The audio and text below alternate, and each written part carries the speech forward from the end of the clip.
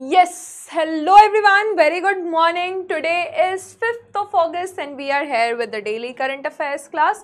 तो आज 5 अगस्त है आज मैं आपको एक रिमाइंडर दे दूँ कि जिन लोगों ने भी सिक्सटी नाइन्थ बीपीएससी का फॉर्म नहीं डाला है उसमें सीडीपीओ भी है आपको आज लास्ट डे है फॉर्म डालने का, प्लीज़ याद करके फॉर्म डाल दीजिएगा।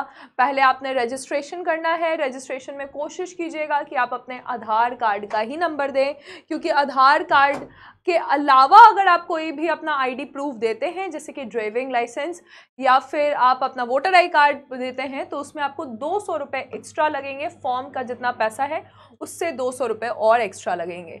इसके अलावा आप एक साफ़ सुथरे जगह पे बैठिएगा जहाँ पे पीछे एक कलर का बैकग्राउंड हो, ठीक है? क्योंकि आपको लाइव फ़ोटो खींचना है, फिर से याद दिला दिया जाए कि आपने ऐसा नहीं है कि फ़ोटो जो है वो अपलोड करना है, ठीक है? सिग्नेचर आपको अपलोड करना है इंग्लिश और हिंदी में। और आपको डॉक्यूमेंट्स जो कि 100 के से कम होने चाहिए। तो दो डॉक्यूमेंट्स अपलोड करने हैं आपने। पहला डॉक्यूमेंट हो जाएगा आपका टेंथ का टेंथ का जो सर्टिफिकेट है ट्वेल्थ और ट्वेल्थ का नहीं करना है ग्रेजुएशन का करना है, ठीक है? इसके अलावा अगर आप कोई भी चीज़ क्लेम कर रहे हैं, कि जैसे कि आप अगर रिजर्वेशन कैटेगरी से हैं तो आपको वो सारे सर्टिफिकेट्स भी अपलोड करने हैं। इसीलिए आप लोग अपने सारे सर्टिफिकेट जिस भी सिस्टम में फॉर्म भर रहे हैं उसमें आपका कैटेगरी वाला सर्टिफिकेट होना चाहिए टेंथ का सर्टिफिकेट होना चाहिए ग्रेजुएशन का सर्टिफिकेट होना चाहिए इंग्लिश और हिंदी में आपका सिग्नेचर होना चाहिए। रजिस्ट्रेशन के बाद आपको फॉर्म फिलिंग करनी है। फॉर्म फिलिंग करने के बाद आपको पेमेंट करना है। पेमेंट में हो सकता है कि थोड़ा बहुत सर्वर का इशू हो तो आप थोड़ा सा पेशेंस रख के पेमेंट कीजिएगा। सिर्फ़ कार्ड से पेमेंट हो रहा है डेबिट कार्ड है या क्रेडिट कार्ड से पेमेंट हो रहा है राइट तो ये चीज़ क्लियर हो गई।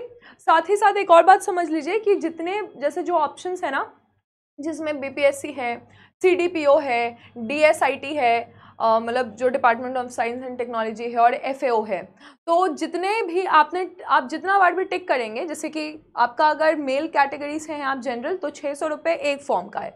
तो आप जितने टिक करेंगे, उतने बार छः सौ रुपये ऐड होगा। आप फीमेल हैं, आपको डेढ़ सौ रुपये बी के लिए लग रहा है, आप सी डी पी ओ भी देना चाहती हैं तो तीन सौ रुपये लगेगा, ठीक है? अगर आप और भी कैटेगरीज के, जैसे चार हैं टोटल चारों एग्ज़ाम अगर आप एलिजिबल हैं और आप चारों एग्ज़ाम देना चाहते हैं तो डेढ़ सौ डेढ़ सौ डेढ़ सौ डेढ़ सौ यानी कि छः सौ रुपये लगेगा। अगर लड़के को छः सौ इंटू फोर यानी कि चौबीस सौ रुपये लगेगा, अगर चारों दे रहे हैं। क्लियर हो गया है? ठीक है? अंडरस्टूड तो ये आपका टोटल रहेगा कैटेगराइजेशन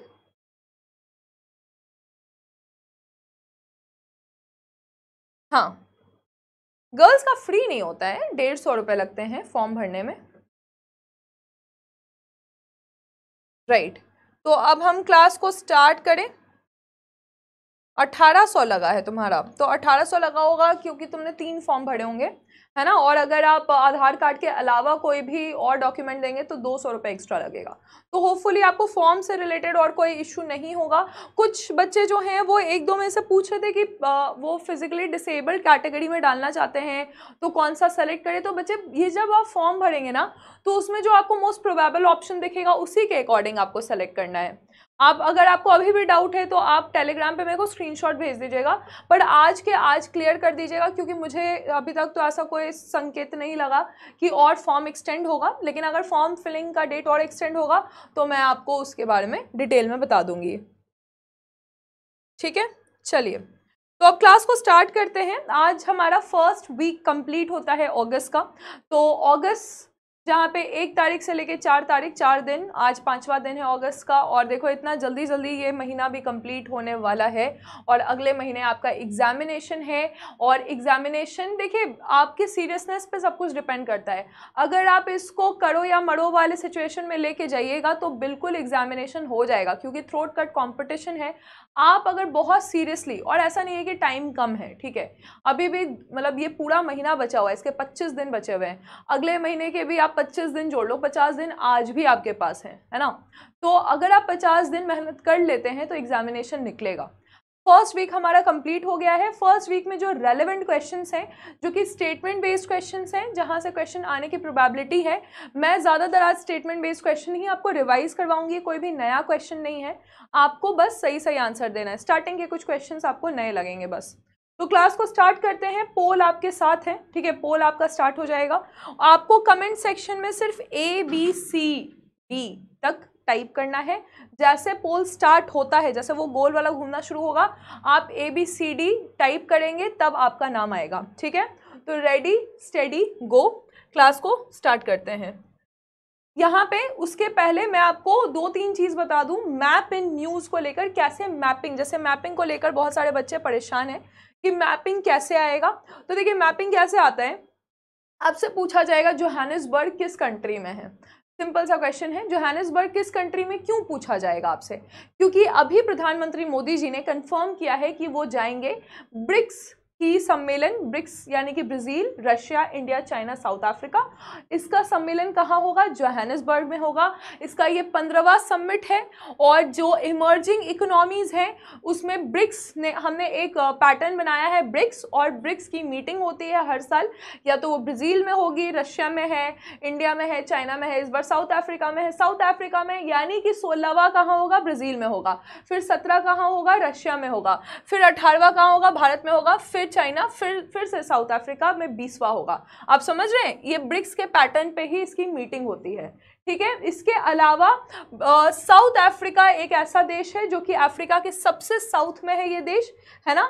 और यहाँ पे बहुत सारे अलग अलग तरह के इकोसिस्टम हैं और जो चीज़ न्यूज़ में रहता है वो है इसका क्रूगेर नेशनल पार्क। तो अगर क्वेश्चन को टफ करना है तो आपसे पूछा जा सकता है कि Kruger national park recently in news ये न्यूज़ में कहाँ से आया? तो आप बताएँगे कि ये न्यूज़ में कहाँ से आया? ये साउथ अफ्रीका के जोहानिसबर्ग में है और ये न्यूज़ में इसीलिए है क्योंकि हमारा ब्रिक्स का पंद्रहवा मीटिंग कहाँ पे होने वाला है? ये आपका जोहानिसबर्ग में होने वाला है, जहाँ पे हमारे प्रधानमंत्री, देखिए यहाँ पे क्रूगेर नेशनल पार्क है। ये जाएँगे। तो अब आप समझे कि मैपिंग कैसे करवाया जाता है? मैपिंग ऐसे होता है कि न्यूज़ में कभी भी कोई चीज़ आएगा तो हमने उसको ध्यान से देखकर मैप में उसको देख लेना है। ये अफ्रीका का मैप है, ये साउथ अफ्रीका है। साउथ अफ्रीका, यहाँ पे देखिए इसके इंपॉर्टेंट सिटीज़ हैं, डर्बन है, उसके बाद यहाँ पे पोर्ट एलिजाबेथ है केप टाउन आपने सुना केप टाउन ये गुड होप जो है केप ऑफ़ गुड होप यहाँ से ही आया था। अच्छा Cape of Good Good Hope का स्टोरी आपको पता है? जब आप एन हिस्ट्री e पढ़ेंगे क्लास एट की तो आपको पता चलेगा कि हमारे देश में यूरोपियन आने वाले थे सबसे पहले। बार्थोलोमियो डियाज पहुँचे थे यहाँ तक और इन्होंने नाम दिया था इस जगह का Cape of Storms Cape of Storms यानी कि तूफ़ान का ये जगह है। और ये बहुत डीमोरलाइजिंग था, क्योंकि यहाँ तक पहुँचने के बाद वापस से ऐसे जाके इंडिया तक जाना था। और केप ऑफ़ स्टॉम जब इन्होंने नाम दिया तो ये काफ़ी डीमोरलाइजिंग हो गया। बाकी कोई यहाँ आना नहीं चाहता था बार्थियोलोमियो डियास के बाद। लेकिन फिर पोर्तुगल वॉज़ वेरी इंथुजियास कि उनको खोजना ही था इंडिया को। क्योंकि आपको पता है कि लैंड रूट बंद कर दिया गया था। उसके बाद वास्को डेगामा आते हैं और यहाँ से वो वापस वहाँ तक जाते हैं। आप मुझे कमेंट सेक्शन में बताइए कि किन्होंने हेल्प किया था वास्को डिगामा को इंडिया तक पहुँचने के लिए। और क्योंकि वास्को डिगामा इसी केप से यहाँ से वहाँ पहुँच जाते हैं तो पोर्तुगल के राजा ने इसका नाम केप ऑफ़ गुड होप रखा। ठीक है? तो केप टाउन यहाँ पे है, ठीक है? इसके बाद आप मुझे एक और चीज़ कमेंट सेक्शन में बताएँगे। थोड़ा सा अवेयर रहिए अब दो महीने बचे एग्ज़ाम को लेकर। साउथ अफ्रीका का अगर आपसे कोई कैपिटल पूछेगा तो क्या बताइएगा? ठीक है? साउथ अफ्रीका का अगर आपसे कोई कैपिटल पूछेगा तो क्या बताइएगा? इसके अलावा एक और बात ध्यान रखिएगा कि लेसोथो लेसोथो एक ऐसा देश है जो पूरी तरह से साउथ अफ्रीका के अंदर ही है। यानी कि इसके चारों तरफ़ का बॉर्डर जो है, वो साउथ अफ्रीका में ही लगता है। ये है लेसेथो आपसे पूछा जा सकता है कि कौन सा ऐसा देश है जिसका बॉर्डर पूरी तरह से साउथ अफ्रीका कवर करती है। देखिए, कल हम ना थोड़ा सा रिसर्च करके आए हैं। तो बीपीएससी के क्वेश्चंस पे तो हम हमेशा बात करते हैं और बीपीएससी एक ऐसा पैटर्न फॉलो कर रहा है जो कि सेंट्रल एग्जामिनेशन की ओर जाता है, जो कि यूपीएससी का पैटर्न है। अगर आप दो साल से यूपीएससी के पैटर्न को देखेंगे तो नहीं क्वेश्चन बहुत टफ नहीं पूछा जा रहा है। हम उसको टफ नहीं कह सकते हैं। क्वेश्चन कैसा पूछा जा रहा है? क्वेश्चन बेसिक नॉलेज में थोड़ा सा घुस के पूछा जा रहा है, ठीक है? जो बेसिक जो जनरल नॉलेज होता है, उसके ही डेप्थ में पूछा जा रहा है। अब जैसे कि एक क्वेश्चन था कि कौन सा ऐसा जानवर है जो कि एक लकड़ी का इस्तेमाल करके पेड़ के बीच में से, पेड़ के मतलब लकड़ी को वो एज टूल इस्तेमाल कर रहा है, ठीक है? और पेड़ में उस टूल को डाल रहा है और उससे, उसको जो भी खाना है, जैसे कीड़ा, मकोड़ा इंसेक्ट्स वगैरह, वो खाना है, वो उसको खा रहा है। समझ रहे हैं? ये क्वेश्चन आपने देखा था? इसका एग्जैक्ट जो स्टेटमेंट है, वो भी मैं आपको बता देती हूँ। तो ये क्वेश्चन था कि कौन सा ऐसा जानवर है जो कि लकड़ी का इस्तेमाल करके मतलब द जानवर is so intelligent which of the following make a tool with a stick to scrape insect from the hole in a tree or a log of would यानी कि लकड़ी के अंदर अगर कोई कीड़ा मकोड़ा छुपा हुआ है तो वो एक स्टिक का इस्तेमाल करके उसको एक टूल बना के उससे कीड़े खा रहे हैं। ये किस जानवर के बारे में क्वेश्चन था? है ना? अगर हम ऑप्शंस देखेंगे तो ऑप्शंस में आपका था स्लॉथ बियर स्लॉथ बियर था, उसके बाद ओरेंगोटैन था। ओरेंगोटैन इज़ अ बंदर like of species fishing cat था और ऑटर था। तो फिशिंग कैट जो है फिशिंग कैट है या फिर ऑटर है ओरेंगोटैन है या स्लॉथ बियर है, ये क्वेश्चन था। तो ये एक बहुत बेसिक सा क्वेश्चन था। एक एक पेपर का आर्टिकल था द हिंदू का, जिसमें ओरेंगोटैन जानवर के बारे में लिखा हुआ था कि ये बहुत ही इंटेलिजेंट स्पीशी है और ये इंसान से भी ज़्यादा कभी कभी कुछ इंसिडेंट्स में देखा गया है कि इसका दिमाग तेज़ चलता है। और उसने क्या करा कि उसने एक स्टिक लिया और स्टिक लेकर वो टूल की तरह उस स्टिक को इस्तेमाल करके और पेड़ के अंदर जो छेद होते हैं ना, जिसमें चीटी, कीड़े वगैरह घुसे रहते हैं, उसको वो खा जाता है। तो आप समझ रहे क्वेश्चन किस तरह से पूछा जा रहा है? क्वेश्चन अब बुकिश नॉलेज से थोड़ा हटके जो जनरल नॉलेज है, यानी कि लोग चाहते हैं कि आप ना थोड़ा अवेयर रहें। तो कैसे अवेयर रहना है? अब ब्रिक्स की मीटिंग है, पंद्रहवीं मीटिंग है जो हैनिसबर्ग में है। जो हैनिसबर्ग के पास कौन सा नेशनल पार्क है? यहाँ से क्वेश्चन आ सकता है। तो इस तरह का पैटर्न आपको फॉलो करना पड़ेगा, ठीक है? इसके अलावा आप देखिए, जो नेक्स्ट बताने वाले हैं हम मैपिंग को लेकर, वो है नॉर्थ सी नॉर्थ सी कहाँ पे है? और क्यों न्यूज़ में है? तो अभी आपको पता है कि रशिया यूक्रेन की लड़ाई हो रही है और रशिया से कोई भी ऑयल और गैस नहीं लेना चाहता है।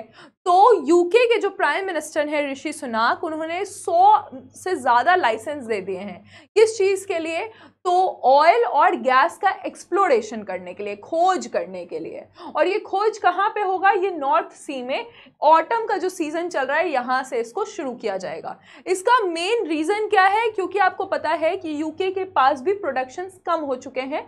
यूके के पास जो डोमेस्टिक प्रोडक्शन था, ये कम हो गया है, साथ ही साथ एक्सपोर्ट भी कम हो गया है। और हम खुद भी चाहते हैं कि 2050 तक दुनिया जो है, वो ज़ीरो कार्बन एमिशन तक पहुँच जाए। यानी कि अगर हम कार्बन डाइऑक्साइड का उत्सर्जन कर रहे हैं तो उतने ही कार्बन डाइऑक्साइड को इन्वायरमेंट एब्जॉर्ब कर पाए, उतना ही हम उत्सर्जन करें।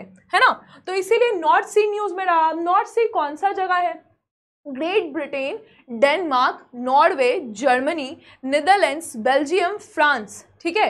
तो इन सब के बीच में पड़ता है नॉर्थ सी। अब हम लोग मैप भी देखेंगे। तो यहाँ पे आप देखिएगा कि एक continental plain having a very low depth ठीक है कॉन्टिनेंटल प्लेट क्या होता है कि आपको पता है कि जो पूरा अर्थ है, वो कॉन्टिनेंटल और ओशियानिक प्लेट्स का बना हुआ है। ओशियानिक प्लेट की डेंसिटी ज़्यादा होती है कॉन्टिनेंटल प्लेट की डेंसिटी कम होती है, क्योंकि कॉन्टिनेंटल प्लेट जो है, वो सियाल का बना हुआ है सिलिकन और एल्यूमिनियम का बना हुआ है। और ओशियानिक प्लेट किस चीज़ का बना हुआ है? ओशियानिक प्लेट सीमा का बना हुआ है सिलिकन और मैग्नीशियम का बना हुआ है। तो सिलिकन तो दोनों में है एल्यूमिनियम और मैग्नीशियम को अगर आप कंपेयर करेंगे तो मैग्नीशियम का डेंसिटी ज़्यादा होता है, जिसके कारण ओशियानिक प्लेट्स की डेंसिटी ज़्यादा होती है।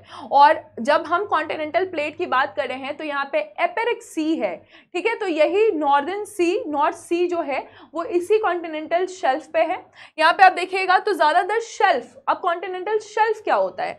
जब कॉन्टिनेंट और ओशन के बीच में हम आते हैं तो यहाँ पे एक ढलान हमको दिखेगा, ठीक है? तो ये जो ढलान है, हल्का सा ढलान, इसको हम शेल्फ कहते हैं। जब ये वन डिग्री तक का ये ढलान होता है। जब ये ढलान बहुत ज़्यादा बढ़ जाता है तो इसको हम स्लोप कहते हैं। और ज़्यादातर जो हमारे पास फॉसिल फ्यूल्स हैं, जो हमारे लिए ज़रूरी तत्व हैं, वो आपको कॉन्टिनेंटल शेल्फ में मिलेंगे, ठीक है? तो जब आप बॉम्बे हाई की बात सुनते हैं बॉम्बे हाई आपने सुना होगा ना? मुंबई हाई जहाँ से आप ऑयल का एक्सप्लोरेशन करते हैं तो व्हाट इज़ मुंबई हाई जब हम अरेबियन सी की तरफ़ जाएँगे, भारत का ये कोस्ट है, और हम अरेबियन सी की तरफ़ जा रहे हैं तो थोड़ा सा जो ढलान है, वहीं पे मुंबई हाई है है ना?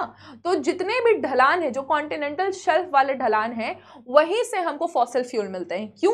क्योंकि पुराने ज़माने में यही तो हुआ होगा कि जितने भी एनिमल्स हैं, जो भी प्लांट्स हैं, उनका वो जाके कॉन्टिनेंटल शेल्फ में उनका डिग्रेडेशन हुआ है और उसी से तो कोल और पेट्रोलियम निकलता है, ठीक है?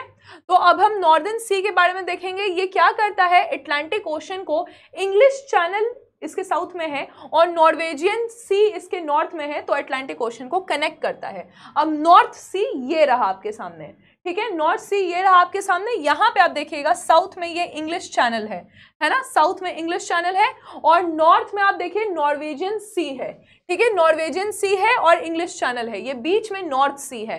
तो इसको नॉर्वेजियन सी अटलांटिक ओशन से कनेक्ट करता है नॉर्थ में और इंग्लिश चैनल इसको अटलांटिक ओशन से कनेक्ट करता है साउथ में। तो ये आपका नॉर्थ सी न्यूज़ में रहता है। क्यों न्यूज़ में है?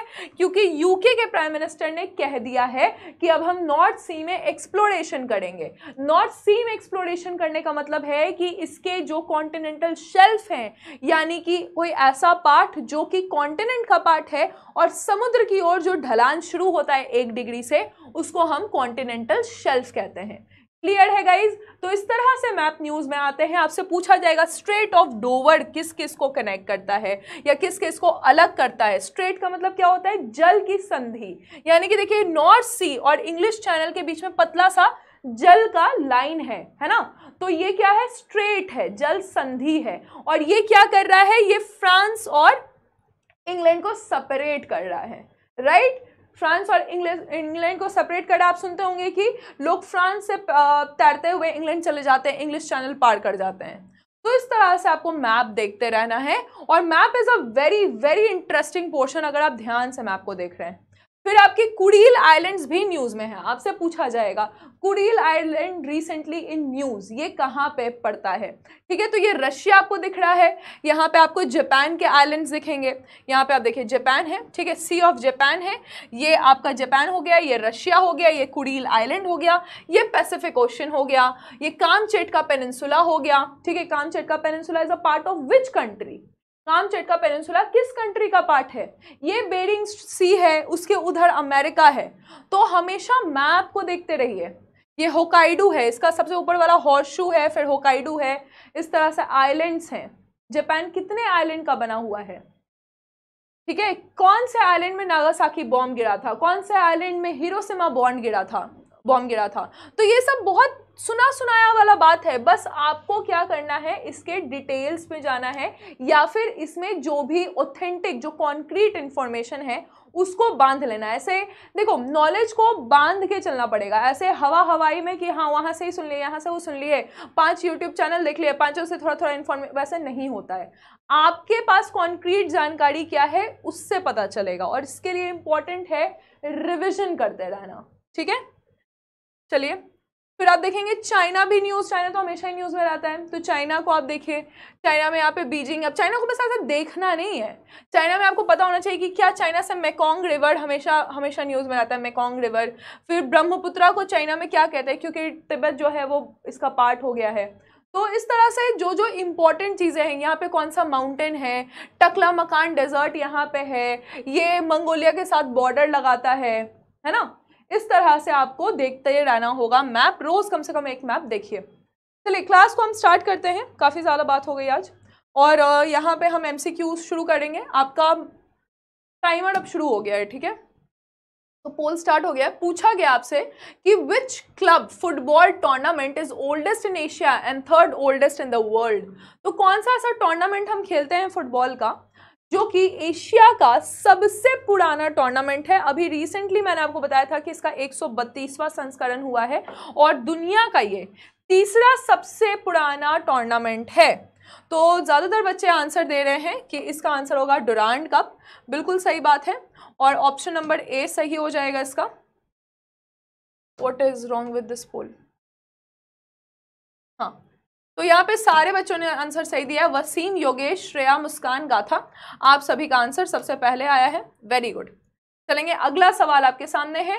नेक्स्ट क्वेश्चन आपसे पूछा जा रहा है। पोल स्टार्ट हो चुका है। ए बी सी डी लिखना शुरू कर दीजिए। What is the radio frequency seeker use for in missiles तो मिसाइल में कौन सा रेडियो फ्रिक्वेंसी सीकर होता है? देखिए, अब चीज़ें काफ़ी डिटेल में हो रही है, मिसाइल और रॉकेट्स को लेकर। तो रेडियो फ्रिक्वेंसी सीकर जो है, ये आपसे पूछा जा रहा है, क्या इसमें इनिशियल फेस ट्रैकिंग होता है? क्या इसमें मिड कोर्स फेस ट्रैकिंग होता है? क्या टर्मिनल, यानी कि जहाँ पे पहुँच जाता है, वहाँ पे फेस ट्रैकिंग होता है, या intercepting and, intercepting enemy missiles है ये? रेडियो फ्रिक्वेंसी टर्मिनल बहुत सारे बच्चे बिल्कुल सही आंसर बता रहे हैं proud of you terminal phase tracking target tracking system यानी कि जो रेडियो फ्रिक्वेंसीज होती है, वो जब मिसाइल वहाँ पहुँच जाएगा, फिर वहाँ पे उसको ट्रैक करके मिसाइल फूटेगा। क्यों न्यूज़ में रहा? क्योंकि रशिया ने mother of all bomb Ukraine पर छोड़ दिया था। ठीक है, वसीम श्रेया, देवांशु निधि, मुस्कान मुस्कान भी एकदम सही आंसर दे रही है। ठीक है। चलिए नेक्स्ट क्वेश्चन हम देखेंगे। अगला सवाल है कि भोपाल में भारत के लोक एवं जनजाति अभिव्यक्ति के राष्ट्रीय महोत्सव, उत्कर्ष एवं अंतर्राष्ट्रीय साहित्य महोत्सव, उन्मेष का उद्घाटन किसने किया है? पोल आपका, अब मैंने स्टार्ट किया है। ठीक है, भोपाल में क्या हुआ है? उत्कर्ष और उन्मेष। उत्कर्ष क्या है? ट्राइबल फेस्टिवल है ये, नेशनल्स। और अगर हम इंटरनेशनल लिटरेचर की बात करेंगे तो हम उनमें सेलिब्रेट करते हैं। ये भोपाल में सेलिब्रेट होता है। आपको बताना है किसने इसको इनाग्रेट किया है? जिन्होंने इनाग्रेट किया है, इसके कारण ही ये न्यूज़ में रहा है। है ना? एक्सेलेंट सब कोई सही बता रहे हैं। तो प्रेसिडेंट है हमारी द्रौपदी मुर्मू जी, इन्होंने इनको, इसको इनाग्रेट किया है। और अभिषेक वसीम, अमन श्रेया आप सभी का आंसर बिल्कुल सही है। चलिए, अगला सवाल है कि ये कल का ही न्यूज़ है, हमारे कैबिनेट सेक्रेटरी बन गए हैं कौन? क्या अजीत डोवाल हमारे कैबिनेट सेक्रेटरी हैं? क्या रज़ी, राजीव गोबा हमारे कैबिनेट सेक्रेटरी हैं? संजय कुमार मिश्रा हैं या तपन डेका हैं? ये झारखंड कैडर के आईएएस ऑफिसर हैं 1982 बैच के और अभी तक जो कैबिनेट सेक्रेटरी है, सबसे सबसे हाईएस्ट पोस्ट होता है किसी भी आईएएस ऑफिसर के लिए। इसलिए कहते हैं कि सही एज में बनना चाहिए, वरना उसके बाद भी कंपटीशन रहता है, ठीक है? तो आंसर आपको पता है कि राजीव गोबा है इसका आंसर और वसीम, अमन, श्रेया, करण, आपका आंसर बिल्कुल सही है।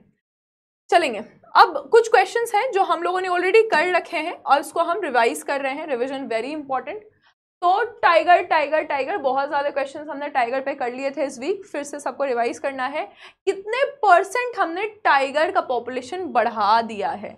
पूछा जा रहा है कि इस बार का जो रिपोर्ट आया है जो स्वयं नरेंद्र मोदी जी ने इस रिपोर्ट को पब्लिश किया है तो सरकारी रिपोर्ट के अनुसार भारत के बाघों की आबादी कितने प्रतिशत वार्षिक वृद्धि दर के साथ 3,925 होने का अनुमान है तो वार्षिक वृद्धि कितनी हुई है? 6.1 परसेंट हुई है। 6.1 परसेंट इसका आंसर हो जाएगा। What is wrong with this poll एक सेकेंड हाँ जी। तो यहाँ पे आप देखेंगे, मुस्कान, वसीम, सोनम, अमन, आपका आंसर बिल्कुल सही है। नेक्स्ट क्वेश्चन आपके सामने है। ठीक है तो पहले इसको एक बार एक राउंड देख लेते हैं। देखिए 6.1 परसेंट हो गया है। 3,925 है याद रखिएगा। Ministry of environment forest and climate change है। ग्लोबल टाइगर डे हम ट्वेंटी नाइन्थ ऑफ़ जुलाई को मनाते हैं। उसके बाद 50 साल हो चुके हैं। टाइगर प्रोजेक्ट का ये मैसूर से अनाउंस हुआ था। नरेंद्र मोदी जी ने टाइगर पॉपुलेशन को डिक्लेयर कर दिया है और कह रहे हैं कि अब हम बढ़ा चुके हैं अपना टाइगर का population next question poll start हो चुका है। पूछा जा रहा है कि एक किताब रिलीज़ हुई है doctor A P J Abdul Kalam ji के ऊपर। मेमोरीज नेवर डाई और रामेश्वरम में ये किताब को रिलीज़ किया गया है। आपको बताना है कि A P J Abdul Kalam one of सबके one of the most famous and favourite president of India है ना? इनके बहुत सारे आपने लेक्चर्स सुने होंगे जो यूनिवर्सिटीज़ uh, में जाके देते हैं। वेरी मोटिवेटिंग आपने कोई बुक भी पढ़ा है? जैसे मैंने एक wings of fire wings on fire पढ़ा है। तो वो भी बताइएगा कि आपने इनके द्वारा लिखी गई कौन सी पुस्तक को पढ़ा है। तो यहाँ पे आप देख सकते हैं, इसका आंसर क्या है? अमित शाह है। अमित शाह ने इस बुक को रिलीज़ किया है मुस्कान वसीम सोनम। हसन किंग गाथा, आपका आंसर बिल्कुल टॉप पे आया है वेरी गुड सारे लोग कोशिश करेंगे जल्दी जल्दी आंसर देने का, पहले तो सही और फिर जल्दी, ठीक है? तो इस किताब को लिखा किसने है, ये भी किताब ये भी आप याद रखिएगा कि ओरिजिनली ये किताब जो है, वो तमिल भाषा में लिखी गई है, उसके बाद इसको अंग्रेज़ी में ट्रांसलेट किया गया है। इनकी भतीजी हैं डॉक्टर नजीमा मराई का मराई कायार, ठीक है?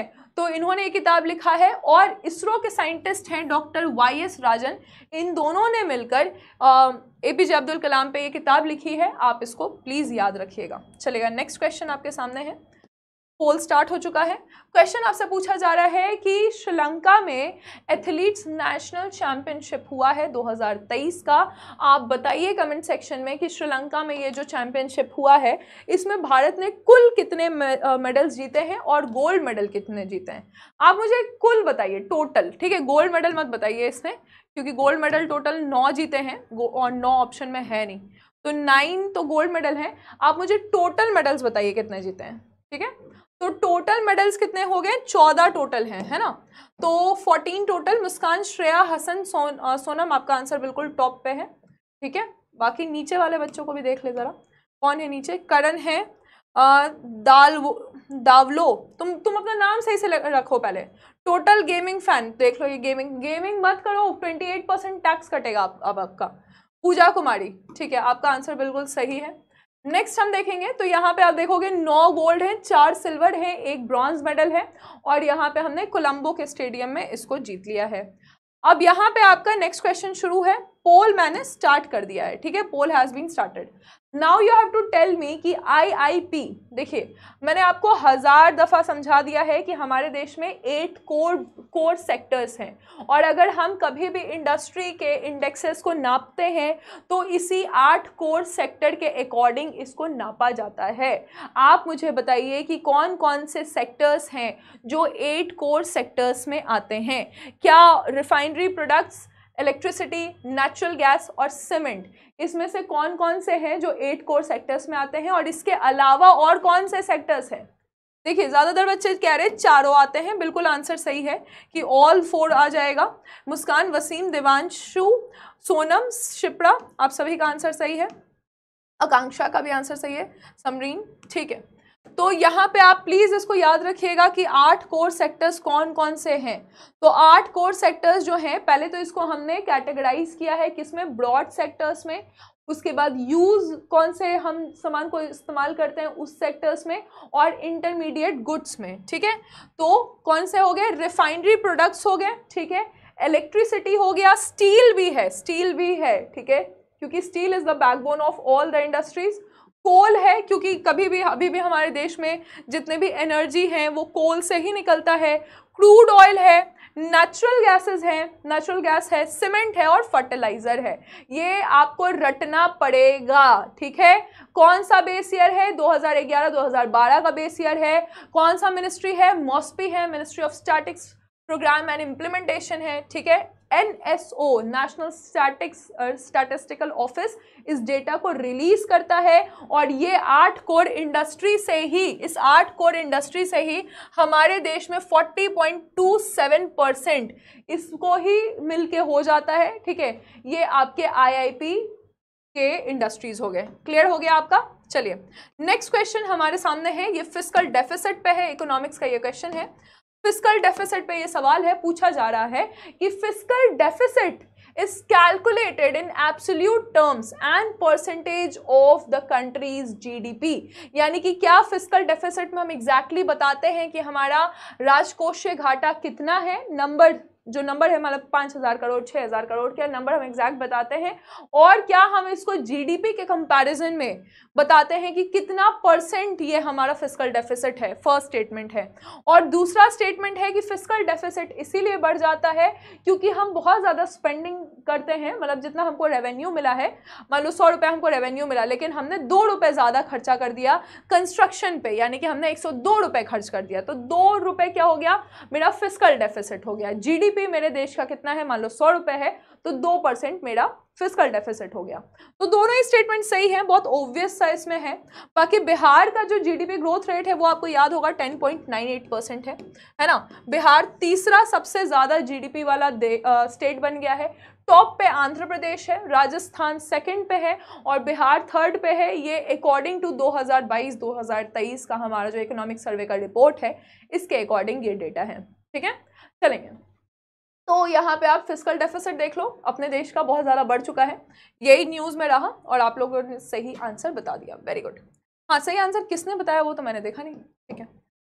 तो हंड्रेड परसेंट बच्चे बता रहे हैं, मुस्कान, वसीम, श्रेया, तुम लोग इतने इंटेलिजेंट हो गए हो कि स्टेटमेंट बेस्ड क्वेश्चन तुम लोग, नेहा, यादव वेरी गुड लेकिन अभी भी सारे बच्चे आंसर नहीं दे रहे हैं। सबको आंसर दो। चलो, ठीक है। नेक्स्ट क्वेश्चन आपके सामने है। नेक्स्ट क्वेश्चन आपसे पूछा जा रहा है कि भारत जो है वो लैंड बॉर्डर तो लगाता है बहुत सारे देशों के साथ है ना? आ, लेकिन मेरी टाइम बॉर्डर मेरी टाइम बॉर्डर का मतलब क्या हो गया कि समुद्र वाला बॉर्डर वो भी होता है ना? टेरिटोरियल वाटर्स कॉन्टिगुअस जोन एक एक्सक्लूसिव इकोनॉमिक जोन पढ़े हैं हम लोग ठीक है? भारत का इंटरनल वाटर्स पाकिस्तान का इंटरनल वाटर्स बाकी देशों का इंटरनल वाटर्स तो कौन सा ऐसे देश हैं जिसके साथ भारत लैंड और समुद्री सीमा दोनों लगाता है। तो इसमें हम कैसे एलिमिनेट करेंगे इस क्वेश्चन को? इस क्वेश्चन को हम ऐसे एलिमिनेट करेंगे कि पाकिस्तान है यहाँ पे, ठीक है। मालदीव्स के साथ हम लैंड बॉर्डर नहीं लगाते हैं तो मालदीव्स नहीं होगा। श्रीलंका के साथ भी हम मेरी टाइम बॉर्डर लगाते हैं, लेकिन लैंड बॉर्डर नहीं लगाते हैं तो श्रीलंका नहीं होगा। म्यांमार के साथ हम लैंड बॉर्डर लगाते हैं, बांग्लादेश के साथ भी हम लैंड बॉर्डर लगाते हैं। तो ऑप्शन नंबर टू और टू तो नहीं होगा, ठीक है। टू कहीं पे भी नहीं होगा। अगर हम बस मालदीव्स को छांट देंगे तो आंसर हमारा आ जाएगा। आप सभी का आंसर सही है, क्योंकि हम देख रहे हैं, कमेंट में सबको ही सही बता रहे हैं। वसीम, सोनम और दिशा, आपका आंसर बिल्कुल सही है, ठीक है? चलिए, टॉप पे आप लोग का आंसर इसलिए तीन ही नाम लिए। यहाँ पे देखो, अभी भी अगर किसी को कंफ्यूजन है तो ध्यान से देखो। देखो, अफ़गानिस्तान कब आएगा? जब सिर्फ़ लैंड बॉर्डर की बात होगी। पाकिस्तान कब आएगा? लैंड बॉर्डर के साथ हम यहाँ पे इसको समझो इस तरह से कि 200 नॉटिकल माइल्स पाकिस्तान का एक्सक्लूसिव इकोनॉमिक जोन होगा और भारत का भी 200 नॉटिकल माइल्स जो है एक्सक्लूसिव इकोनॉमिक जोन होगा। तो दोनों का जो एक्सक्लूसिव इकोनॉमिक जोन है, वो टकरा जाता है। तो यहाँ पे ये लैंड बॉर्डर और मेरीटाइम बॉर्डर दोनों है। मालदीव्स में भी लैंड बॉर्डर नहीं है। सिर्फ़ मेरी टाइम बॉर्डर है। श्रीलंका आइलैंड है लैंड बॉर्डर नहीं है, सिर्फ़ मेरी टाइम बॉर्डर है। बांग्लादेश लैंड और मेरी टाइम दोनों है, म्यांमार जो है लैंड मेरी टाइम दोनों है। अब यहाँ पे देखो नेपाल नेपाल लैंड लॉक्ड है। सिर्फ़ लैंड बॉर्डर है। अफ़गानिस्तान लैंड है। सिर्फ़ लैंड बॉर्डर है। तो ये सारा क्वेश्चन भी, अब लैंड बॉर्डर वाला जमाना चला गया। अभी भी कंफ्यूजन है। Class nine geography chapter number one India में आपको पता होना चाहिए इंडिया का एरिया कितना है इंडिया की लंबाई कितनी है इंडिया की चौड़ाई कितनी है। इंडिया का सबसे नॉर्थ पॉइंट इंदिरा कोल है। यहाँ पे अंडमान एंड निकोबार का सबसे साउथ पॉइंट इंदिरा पॉइंट है। सबसे ईस्ट किबितु है, जो कि अरुणाचल प्रदेश में है। सबसे वेस्ट गुहार मोटा है, जो कि गुजरात में है। तो ये बेसिक नॉलेजेस आपको नॉलेज पता होना चाहिए। इवन बिहार का भी आपको पता होना चाहिए। बिहार का एरिया कितना है? बिहार का लैटिट्यूड कितना है? लॉन्गिट्यूड कितना है? लंबाई कितनी है, चौड़ाई कितनी है, गंगा नदी कितने डिस्ट्रिक्ट से क्रॉस करती है, पटना को कितना डिस्ट्रिक्ट बॉर्डर करता है, ये सारे क्वेश्चन आपके एग्ज़ाम में आते हैं। ठीक है? चलेंगे। तो यहाँ पे पोल हम स्टार्ट करते हैं। ये क्वेश्चन आपको क्लियर हो गया। चलिए नेक्स्ट क्वेश्चन आपके सामने है पोल स्टार्ट हो चुका है। आपसे पूछा जा रहा है कोकोज। कोकोज आइलैंड न्यूज़ में रहा है? कोकोज आइलैंड न्यूज़ में रहा है? क्या ये न्यूजीलैंड में है? कपीती आइलैंड न्यूज़ में रहा है, क्या ये ऑस्ट्रेलिया में है? को समो को सामुई आइलैंड न्यूज़ में रहा है, क्या ये म्यांमार में है? बहुत सारे बच्चे, बहुत सारे बच्चे क्लास में नए हैं और उनको लग रहा है कि मैम ऐसा ऐसा क्वेश्चन पूछ रहे हो सबको ये सही आंसर कैसे बता रहा है? और हम लोग क्यों नहीं बता रहे हैं? तो क्लास रोज सुबह आठ बजे होती है मंडे से लेके फ्राइडे तक सैटरडे को हम पढ़ाई नहीं करते हैं यहाँ पे देखो, सबको टाइम पास कर रहा के तो यहाँ पे क्विज होता है सैटरडे को, ठीक है? तो मंडे से फ्राइडे तक अगर आप रेगुलर हैं तो ये सारे क्वेश्चन आप तुरंत तुरंत आंसर दे दीजिएगा, है ना? हाँ। तो आप देखोगे कोकोज आइलैंड हाँ समरीन कोई बात नहीं, आप आंसर सही दे रही हैं। फ़ोन स्लो है, कोई बात नहीं, हम देख तो रहे हैं आपका नाम। कोकोज आइलैंड ऑस्ट्रेलिया में है कपीती आइलैंड न्यूजीलैंड में है, और ये जो आपका को समोई आइलैंड है, ये म्यांमार में नहीं है, ये आपका थाईलैंड में है। तो यहाँ पे आप देखिएगा, सारे ही गलत हैं, है ना? तो यहाँ पे आप देखो कोकोज ऑस्ट्रेलिया में हो गया, कपीती आपका न्यूजीलैंड में हुआ और थाईलैंड में आपका को समुई है, ठीक है? ऑस्ट्रेलिया का कोकोज आइलैंड, जिसको हम कीलिंग आइलैंड भी कहते हैं, फिर से हम बता दें, ये न्यूज़ में है, क्योंकि इंडिया का मिलिट्री एयरक्राफ्ट यहाँ पे गया है ऑस्ट्रेलिया और हम लोग अपना इंटर ऑपरेबिलिटी को बढ़ावा देने के लिए पर्थ यहाँ पे एक शहर है, पर्थ आपने नाम सुना होगा। पर्थ से तीन हज़ार किलोमीटर दूर यहाँ पे कोकोज आइलैंड है और भारत ने अपने एयरक्राफ्ट यहाँ पे लैंड किए हैं। कपीती कोस्ट आपका न्यूजीलैंड में है, ठीक है? और कू समोई कू समोई जो है, ये आपका हो जाएगा कहाँ पे? थाईलैंड में। तो इसका आंसर कितने बच्चों ने सही दिया था, ये तो मैंने चेक ही नहीं किया। ठीक है तो सारे ही गलत थे तो आंसर हो जाएगा डी। और क्या आप लोगों ने सी क्यों डाला है? अच्छा आप लोगों को लगा कि म्यांमार वाला सही है। बताया हुआ था ना कि को समोई जो है वो थाईलैंड में है। थोड़ा सा तारीफ़ क्या करते तुम लोग सीधा गलत करने लगते हो। वेरी गुड चलिए नेक्स्ट क्वेश्चन फिर से आपका मैपिंग का है। पोल स्टार्ट हो चुका है। आपसे पूछा जा रहा है कि central Africa republic C A R ये कौन कौन से देश के साथ बॉर्डर लगाता है? अभी कल ही हम यूपीएससी का क्वेश्चन देख रहे थे तो उसमें पूछा जा रहा था कि कॉन्गो नदी बहती है और कौन कौन से कंट्री से कॉन्गो नदी बहती है? और उसमें भी आपके ऑप्शन थे, यही ऑप्शन थे। कैमरून सुडान चार्ड यही सारे ऑप्शन थे सेंट्रल अफ्रीकन रिपब्लिक भी था। तो अब आप मुझे बताइए कि कोंगो नदी के बारे में नहीं पूछ रहे हैं कि सी को कौन कौन से कंट्रीज़ बॉर्डर कर रहा है। सारे ही बच्चे सही आंसर दे रहे हैं, सारे ही हो जाएँगे यहाँ पे।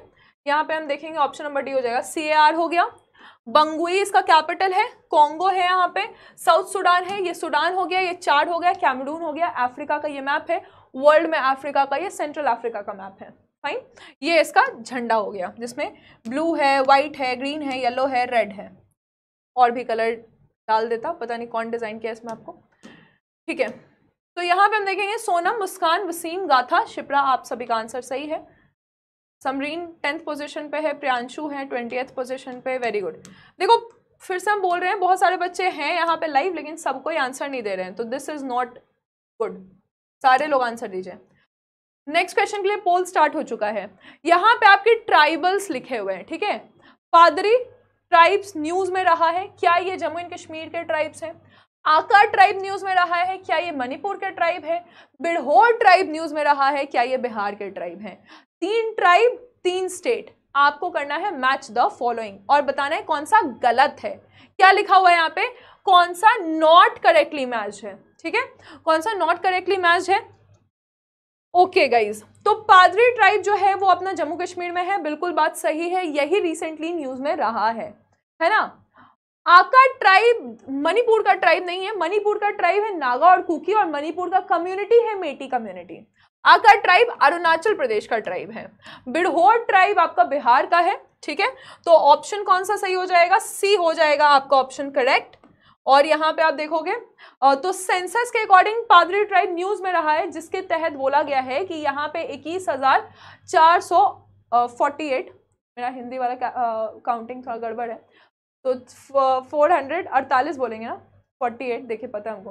तो 83.6 परसेंट इसमें हिंदू है 9.5 परसेंट इसमें बुद्धिस्ट है 6.8 परसेंट इसमें मुस्लिम है। और गवर्नमेंट ने अभी एक बिल लेके आए हैं गवर्नमेंट जिसमें कहा गया है कि जम्मू एंड कश्मीर में जो जो ट्राइब हैं, जो शेड्यूल्ड ट्राइब्स हैं, उसके लिए लिस्ट निकाला गया है। ठीक है? और इसमें गाधा, ब्राह्मण, कोली, पादरी ट्राइब पहाड़ी एथनिक ग्रुप्स बहुत सारे हैं। पादरी जो है, वो किश्तवर डिस्ट्रिक्ट में रहते हैं? जम्मू एंड कश्मीर के। ठीक है? तो यहाँ पे आप इसको देख सकते हैं। ऑप्शन आपका सी करेक्ट है। तो सी में 66 बच्चे सही है। मुस्कान, वसीम, शिप्रा, प्रियांशु, रजत, आपका आंसर बिल्कुल सही है। यहाँ पे हम देख सकते हैं इस सबक के ट्राइब्स चलिए नेक्स्ट क्वेश्चन आपका बायोडाइवर्सिटी हेरिटेज साइट के ऊपर है। तो यहाँ पे आपका पोल स्टार्ट हो चुका है और क्वेश्चन आपसे क्या पूछा गया है? बायोडाइवर्सिटी हेरिटेज साइट पहला स्टेटमेंट आपके सामने है कि क्या ये सेक्शन 37 में है? बायोडाइवर्सिटी हम हट जाते हैं पहले सामने से। बायोडाइवर्सिटी एक्ट 2002 के सेक्शन 37 में है, जहाँ पे लोकल बॉडीज से कंसल्ट करके कोई भी स्टेट गवर्नमेंट किसी भी जगह को बायोडाइवर्सिटी हेरिटेज साइट घोषित कर सकता है। पूछा जा रहा है कि इसको स्टार्ट किया गया था इस एक्ट के तहत 2007 में नलूर जहाँ पे इमली के बगीचे थे, ठीक है तामरींद टैमरिंड जिसको कहते हैं, इमली को कहते हैं। ग्रोव है, ये क्या बेंगलुरु, कर्नाटका में पहला, देश का पहला बीएचएस है बायोडाइवर्सिटी हेरिटेज साइट है। और तीसरा स्टेटमेंट है कि हाई एंडमिज्म, यानी कि ऐसा हो सकता है कि वो जो नस्ल है, वो जो स्पीशी है, वो सिर्फ़ वहीं वहीं प्रेजेंट है, इसीलिए हम इसको बायोडाइवर्सिटी हेरिटेज साइट डिक्लेयर कर रहे हैं। तीनों में कौन से स्टेटमेंट सही हैं, आपसे पूछा जा रहा है, तीनों ही स्टेटमेंट सही हैं। है ना? तो all of the three statements are correct यहाँ पे मुस्कान वसीम सोनम गाथा, आपका आंसर बिल्कुल टॉप पे चल रहा है अभी वेरी गुड मोहम्मद अंसारी जी अर्ध आकांक्षा स्नेहा अब्दुल, आप लोग भी आंसर बिल्कुल सही से दे रहे हैं। एक्सेलेंट तो यहाँ पे आप देखोगे बायोडाइवर्सिटी हेरिटेज साइट इसके बारे में हमने क्या समझा कि सेक्शन 37 में अगर हम देखेंगे बायोडाइवर्सिटी एक्ट 2002 को तो इसके तहत हम किसी भी जगह को बायोडाइवर्सिटी हेरिटेज साइट घोषित कर सकते हैं। इसमें यूनियन गवर्नमेंट नहीं स्टेट गवर्नमेंट इन्वॉल्व है। स्टेट गवर्नमेंट इसको घोषित करेगी लोकल बॉडी के साथ एक बार डिस्कशन करने के बाद। और साथ ही साथ देश का जो पहला बायोडाइवर्सिटी हेरिटेज साइट है, वो 2007 में बेंगलुरु के पास नल्लूर जगह है, जहाँ पर इमली इमली के ग्रोव्स थे और इसको हमने 2007 में पहला बायोडाइवर्सिटी हेरिटेज साइट घोषित किया। कोई ऐसा स्पीशी जो एंडेमिक है एंडेमिक का मतलब होता है कि सिर्फ़ वही वही है, जैसे कि Gir national forest, Asiatic lion, Bharat में सिर्फ़ वही है। तो एंडेमिक स्पीशी है। तो इसीलिए हम उसको घोषित कर सकते हैं biodiversity heritage site. Very good चलेगा नेक्स्ट यहाँ पे हम देखेंगे। और अभी न्यूज़ में क्यों है? क्योंकि अभी जो मंदसौर हिल है और महेंद्रगिरी हिल है और गाथा मर्दान हिल्स हैं, ये उड़ीसा का हिल्स है और यहाँ पे, यहाँ उड़ीसा की गवर्नमेंट कह रही है कि हम इसको बायोडाइवर्सिटी हेरिटेज साइट घोषित करेंगे। उड़ीसा में कभी भी किसी साइट के बारे में पढ़ना होगा तो जो सबसे ज़्यादा न्यूज़ में रहता है साइट वो है उड़ीसा का ऋषिकुला आइलैंड्स जो कि गड़ी माथा बीच पे है, ठीक है? उड़ीसा का ऋषि, ऋषिकुला आइलैंड्स ऋषिकुला आइलैंड्स, ये कहाँ पे है? गड़ी माथा बीच में है। और गड़ी माथा में क्या होता है? गड़ी माथा में बहुत ज़्यादा मास नेस्टिंग होता है। मास नेस्टिंग का मतलब होता है कि बहुत सारे turtles olive ridley turtles olive ridley turtles बहुत छोटे छोटे टर्टल्स होते हैं। ये कछुए आते हैं और सारे कछुए जो हैं, मादा आती हैं, इसमें बहुत सारी और अंडा दे देती हैं। ठीक है, यहीं पे, इसी आइलैंड के पास। और इस प्रोसेस को हम अड़ी बादा भी कहते हैं, ठीक है? तो इसको आप याद रखिएगा, ये उड़ीसा इसके लिए काफ़ी ज़्यादा इसका जो उड़ीसा का स्पीशी वाला जो सेक्टर में इन्वायरमेंट का सेक्टर है, वो इसके लिए काफ़ी ज़्यादा न्यूज़ में रहता है। फाइन तो यहाँ पे तीनों स्टेटमेंट सही हैं। नेक्स्ट क्वेश्चन हमारे सामने है, और पोल आपका स्टार्ट हो चुका है। आईपीसीसी के बारे में है। बहुत सारे ऐसा टॉपिक है जो हमको पहले टफ लगते थे, और अब आप लोग सही सही आंसर दे रहे हैं। एक्सेलेंट चलिए तो देखिएगा आईपीसीसी यानी कि inter governmental panel on climate change पूछा जा रहा है कि क्या ये 1988 में डब्ल्यूएमओ यानी कि वर्ल्ड मेट्रोलॉजिकल ऑर्गेनाइजेशन द्वारा सेटअप किया गया था और वर्ल्ड इन्वायरमेंट प्रोग्राम द्वारा मतलब यूनाइटेड नेशन इन्वायरमेंट प्रोग्राम द्वारा सेटअप किया गया था। आईपीसीसी में क्या 195 कंट्रीज़ इन्वॉल्व हैं? दो स्टेटमेंट आपके सामने हैं, दोनों ही स्टेटमेंट आपके क्या हैं? करेक्ट है, ठीक है? तो ऑप्शन नंबर सी हो जाएगा इसमें। और मुस्कान, सोना, वसीम, गाथा, बस यही लोग पढ़ रहे हैं। बाकी लोग पिटाने के काम कर रहे हैं। करण, सुनील टोटल गेमिंग निधि, आप लोग सभी का आंसर सही है। सबको आंसर क्यों नहीं दे रहा? What is the reason guys यहाँ पे देखिए दोनों ही स्टेटमेंट सही है, ठीक है? तो यहाँ पे आईपीसीसी 1988 का है W M O world metrological organisation और यूनाइटेड नेशन एनवायरनमेंट प्रोग्राम ने इसको बनाया है। 195 इसमें देश हैं और ये आपका हो जाएगा आईपीसीसी ठीक है? चलिए, इसके बारे में हम लोगों ने ऑलरेडी डिटेल में पढ़ रखा है। जीआई टैग पे सवाल है, पूछा जा रहा है कि जलेसर धातु शिल्प, क्या कर्नाटका का जीआई टैग इसको, कर्नाटका में इसको जीआई टैग मिला है? ये बेसिक धातु धातु क्या होता है? मेटल्स होते हैं। शिल्प, यानी कि मेटल से आकार के आप घुंगरू बना दिए या घंटी बना दिए, मंदिर में घंटी होता है ना? तो इस तरह के आपने बहुत सारे चीज़ बना दिए। क्या इसको कर्नाटका में मिला है? जालेसर ये जगह है। मन मन कुड़ाड मन कुड़ाड आम। तो क्या ये आम बिहार का आम है? इसको जीआई टैग मिला है। और कल्पी कल्पी भी जगह है। क्या यहाँ पे हाथ से बने हुए पेपर, हस्त निर्मित कागज़, क्या ये उत्तर प्रदेश का है? ठीक है? तो यहाँ पे आप देखिएगा, ये उत्तर प्रदेश वाला सही है, जालेसर भी उत्तर प्रदेश में है और मनकुराडू जो है ये गोवा में हो जाएगा, ठीक है? तो वन और टू आपका गलत है नॉट करेक्ट पूछा गया है ऑप्शन नंबर ए आपका सही हो जाएगा, ठीक है? फिफ्टी परसेंट बच्चे बाकी गलती कर दिए। ओके यहाँ पे टोटल गेमिंग देवांशु गाथा सोनम का आंसर सही है। यहाँ पे नॉट करेक्ट पूछा गया था ना, सुमिलित नहीं है। है ना? सुमेलित नहीं है, पूछा गया था। ये देखिए आपके, ये धातु शिल्प हो गए ये हैंडमेड कल्पी का हो गया और ये आम है जो कि गोवा का आम है। इसको जीआई टैग मिला है अभी रिसेंटली नेक्स्ट हम देखेंगे जस्टिस रोहिणी कमेटी काफ़ी बार इसको भी हम लोगों ने डिस्कस कर रखा है कि जस्टिस रोहिणी कमेटी न्यूज़ में रहा है। आपको बताना है जस्टिस रोहिणी कमेटी किस चीज़ से रिलेटेड है? हिंदी की तरफ़ से हट जाएँ। ठीक है सॉरी तो यहाँ पे आप देखिएगा, न्यायमूर्ति जी जस रोहिणी की अध्यक्षता वाला आयोग गठित किया गया है। आपको बताना है कि ये किस चीज़ से रिलेटेड है? सारे लोग सही बता रहे हैं कि ओबीसी का हमको सब कैटेगराइजेशन करना है, इससे रिलेटेड है है ना? तो ये जस्टिस रोहिणी कमेटी है और यहाँ पे ओबीसी कैटेगराइजेशन के बारे में बात है। श्रेया मुस्कान, वसीम सोनम गाथा प्रियांशु करण, आपका आंसर बिल्कुल टॉप पे चल रहा है। वेरी गुड कुसुम, प्रधानमंत्री कुसुम तो कुसुम का फुल फॉर्म बताओ, जल्दी से इसमें गलती नहीं करना, ठीक है? प्रधानमंत्री कुसुम किस चीज़ के लिए है? तो हम चाहते हैं कि किसानों को हम क्या दें? किसानों को हम ऊर्जा दें। कैसी ऊर्जा दें? साफ़ सुथरी ऊर्जा दें। और हमारे देश में सबसे ज़्यादा किसान जो है ऊर्जा का इस्तेमाल करते हैं। इसके लिए हमने एक प्रधानमंत्री कुसुम स्कीम स्टार्ट किया है। और आपको बताना है कुसुम का फुल फॉर्म तो आप सभी को पता है, किसान ऊर्जा सुरक्षा एवं एवं उत्थान महाअभियान है ना? तो हम इनका उत्थान कर देंगे। तो यहाँ पे आप देखिएगा, थर्टी अरे, क्यों गड़बड़ हुआ है इसमें? अच्छा खेती वाले लोग जो हैं, वो ज़्यादा आंसर दे रहे हैं। खेती तो है नहीं इसमें, खेती तो ऐसे ही गलत हो जाएगा। उसके बाद उपकरण तो नहीं है इसमें, उत्थान है ना? यहाँ पे भी खेती है, खेती भी गलत हो जाएगा। प्रधानमंत्री किसान ऊर्जा सुरक्षा एवं उत्थान योजना हो जाएगा इसका आंसर। मुस्कान सोनम, देवांशु निधि प्रीतम, करण, दीपक, सुनील, गाथा, आपका ही आंसर बस सही है। चलिए तो ये हो गया आपका प्रधानमंत्री, किसान ऊर्जा सुरक्षा एवं उत्थान महाअभियान मिनिस्ट्री ऑफ़ मिनिस्ट्री ऑफ़ देखिए, यहाँ पे ना फार्मर वाला मिनिस्ट्री नहीं है। मिनिस्ट्री कौन सा है? न्यू एंड रिन्यूएबल एनर्जी 2009 में ये शुरू हुआ था। ये स्कीम हम पढ़ा चुके हैं आप लोगों को। नेक्स्ट सवाल आप देखेंगे। नेक्स्ट सवाल आपसे पूछा जा रहा है कि यांग यांग सान सुकुई ये कहाँ की हैं? म्यांमार की हैं। इनको, इनका, इनके देश में मिलिट्री कूप हुआ। इनको मिलिट्री कूप के बाद नाम नहीं आ रहा है। अच्छा। तो आप देखिए, मिलिट्री कूप के बाद क्या हुआ इनका? कि इनको जेल में डाल दिया गया। लेकिन अब ना इनके पाँच गुनाह को माफ़ किया गया है। और ये काम कब हुआ? तो बुद्धिस्ट का एक बहुत बड़ा फेस्टिवल होता है, जिसको धमचक डे कहते हैं। और इसी दिन ये हुआ है। ठीक है? तो यहाँ पे आप देखिएगा नाइन्टी परसेंट बच्चे टोटल गेमिंग वसीम प्रियांशु, हसन, करण आ तो रहा है रजत, तुम्हारा नाम कह रहा है? नाम नहीं आ रहा है। क्या बात कर रहे हो तुम? सौरभ का नाम भी आ रहा है, देखो। प्रीतम, अनिमेश, तनु, सभी का नाम आ रहा है। ठीक है? चलिए नेक्स्ट क्वेश्चन यहाँ पे देखोगे यूनेस्को रिपोर्ट हाइलाइट्स क्या कह रहा है यूनेस्को रिपोर्ट की वीनस वेनिस हम बार बार वेनिस को वीनस कह देते हैं। बहुत सुंदर जगह है वेनिस इटली में है।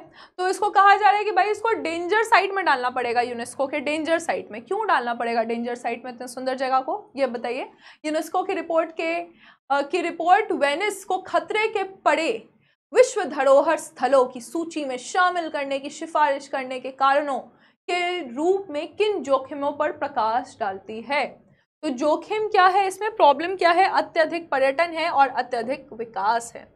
ठीक है? तो ऑप्शन नंबर सी हो जाएगा इसका आंसर गुलशन, रागिनी, हीना, श्रेया, वकार, आप सभी का आंसर बिल्कुल टॉप पे चल रहा है. वेरी गुड चलेंगे. तो ये हो गया वेनिस सुंदर जगह है. इटली हो गया. देखो इटली में याद रखना प्लीज़ एड्रियाटिक सी है यहाँ पे. योनियन सी है. ठीक है? टायरहियनियन सी है. इसका नाम थोड़ा सा वैसा है। और ये मेडिटेरियन के साथ कोस्ट लगाती है। मेडिटेरियन सी, जो कि बहुत बड़ी सी है, यहाँ पे यहाँ पे कोस्ट लगा रही है। इटली एक पेनिनसुला है, क्योंकि तीनों साइड से ये पानी से ढकी हुई है, और एक साइड से लैंड है। इटली का कैपिटल रोम है है ना? सारे लोग जाएँगे इटली में, सरकारी नौकरी लगने के बाद। ऐसा आप लोग सोच रहे हैं, पर नौकरी लगने के बाद काम बहुत बढ़ जाएगा।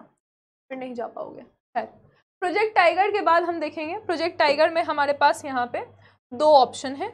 आप बताइएगा कि प्रोजेक्ट टाइगर को लॉन्च किया गया था 1973 में जिम कॉर्बेट नेशनल पार्क यहाँ पे। प्रोजेक्ट टाइगर के लिए है। टाइगर अपेंडिक्स वन में आता है साइट्स के। Convention on international trade in endangered species of wild fauna and flora CITES. तो आप बताइए कि प्रोजेक्ट टाइगर के बारे में कौन सा स्टेटमेंट सही है? सब पढ़ाया हुआ है कि साइट्स में अपेंडिक्स वन में आएगा IUCN में इंडेंजर्ड स्पीशीज़ में आएगा वाइल्ड लाइफ प्रोटेक्शन एक्ट में शेड्यूल नंबर वन में आएगा वाइल्ड लाइफ प्रोटेक्शन एक्ट 1972 का है और 1973 में जिन कॉर्बेट नेशनल पार्क में, इंदिरा गांधी जी की सरकार में हमने क्या करा था? हमने प्रोजेक्ट टाइगर को लॉन्च किया था। दोनों स्टेटमेंट सही है और यहाँ पे देवांशु देवांशु, प्रियांशु मुस्कान मुस्कानू बोलने वाले थे अभी हम, ठीक है? मोहम्मद अंसारी, सबका आंसर बिल्कुल सही है। वेरी गुड लेकिन अभी भी प्रॉब्लम है क्या है? सौ से ज़्यादा बच्चे लाइव हैं, है ना? और आंसर्स मुझे मिल रहा है कितना? सिर्फ़ थर्टी फाइव लोगों का। ऐसा क्यों है? गाइज़ सारे लोग आंसर दीजिए प्लीज़ सारी चीज़ें पढ़ाई हुई हैं। अगला सवाल आप देखिएगा स्टेट ऑफ़ क्लाइमेट रिपोर्ट के बारे में। आपका पोल स्टार्ट हो गया है। पढ़ लो पहले क्वेश्चन को। हम देख रहे हैं, तुम लोग को ना ऐसे तो आंसर ही रटा जाते हो। यही होता है क्वेश्चन फिर थोड़ा सा इधर से उधर होगा, फिर गड़बड़ कर दोगे। पहले क्वेश्चन को ध्यान से पढ़ो। नेक्स्ट सैटरडे से ना हम हर क्वेश्चन में कुछ ना कुछ चेंज करके लाएँगे ट्विस्ट देखिए state of climate in Asia 2022 का रिपोर्ट आया है, जिसमें कहा गया है कि 2013 से 2022 तक हमारा जो ग्लोबल एवरेज सी लेवल है, वो 4.6 पॉइंट mm पर ईयर बढ़ चुका है। यानी कि पानी का जो स्तर है, वो 4.6 mm हर साल बढ़ते जा रहा है। और बैरेंट सी बैरेंट सी कहाँ पे है? आर्कटिक सी के जस्ट नीचे है। ठीक है, यहाँ पे बोला जा रहा है कि भाई ये जो जगह है ना, ये हॉटस्पॉट बन गया है। क्यों? क्योंकि यहाँ पे ग्लोबल वार्मिंग पाँच से सात गुना ज़्यादा हो रहा है। दुनिया भर में जितना भी ग्लोबल वार्मिंग हो रहा है, यहाँ पे उससे पाँच से सात गुना ज़्यादा हो रहा है।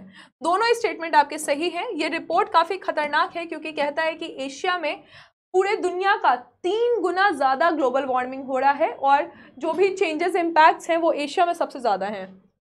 समीर गुलशन श्रेया मुस्कान रजत देखिए रैंडम नाम ले रहे हैं हम। करण हीना प्रीतम दीपक बैड बॉय का भी आंसर आया है। अच्छा ठीक है। तो सभी लोग नीतीश आपका भी आंसर आ गया है। वेरी गुड तो यहाँ पे आप देख लीजिए इस रिपोर्ट के बारे में हम, हम लोगों ने ऑलरेडी पढ़ रखा है। नेक्स्ट क्वेश्चन आपके सामने है। पोल स्टार्ट हो चुका है। पोल पूछ रहा है कि बीवाकू मिलेनियम फ्रेमवर्क, ये न्यूज़ में रहा है, बीवाकू मिलेनियम फ्रेमवर्क किस चीज़ से रिलेटेड है? क्या ये विकलांग व्यक्तियों से रिलेटेड है? कनाडा में प्रवासियों की नागरिकता प्रदान करने से रिलेटेड है? अफ्रीकी देशों को कोविड टीकाकरण अभियान से रिलेटेड है या मानवाधिकार से रिलेटेड है? तो ये जो है पर्सन विथ डिसेबिलिटी से रिलेटेड है। बीवाकू के बारे में हम लोगों ने पढ़ रखा है। ऑप्शन नंबर ए इसका आंसर हो जाएगा। ठीक है? यहाँ पे आप देखोगे मुस्कान सोनम, यही लोग, तुम लोग कुछ वो लगाए हो क्या? सॉफ्टवेयर हाँ प्रियांशु मेडलिस्ट हैं ये तीनों हमारे। मुस्कान को गोल्ड मेडल मिला है, सोनम को सिल्वर और प्रियांशु ब्रॉन्ज मेडल उसके बाद पोजीशन पे आते हैं वसीम गाथा, रजत। उसके बाद निधि श्रेया, योगेश करण, ठीक है टॉप टेन स्टूडेंट और लास्ट में जो बच्चा बता रही है, वो है रागिनी। एक बच्चे का नाम बर्लिन भी है अच्छा। और टोक्यो भी है, यहाँ पे मनी हाइस चल रहा है। बिवाकू, ठीक है। नेक्स्ट क्वेश्चन हम देखेंगे। नेक्स्ट क्वेश्चन आपसे पूछा जा रहा है सोहिनी सिन्हा के बारे में। सोहिनी सिन्हा, ये एफबीआई एजेंट बन चुकी हैं। एफबीआई ऐसे हुआ होगा इनके साथ। ये बचपन है ना बहुत सारे ऐसे मूवीज़ देखी होंगी टॉम क्रूज का, उसमें एफबीआई होगा बहुत सारा। और ये सोची होंगी बड़े होकर हम एफबीआई एजेंट बनेंगे। आप लोगों ने बचपन में ऐसा कोई मूवी देखा है जिसमें आपने सोचा है कि बड़े होकर पायलट बनेंगे या ये बनेंगे, वो बनेंगे और अभी एक भी एग्ज़ाम नहीं निकल रहा है? ऐसा हुआ है कभी?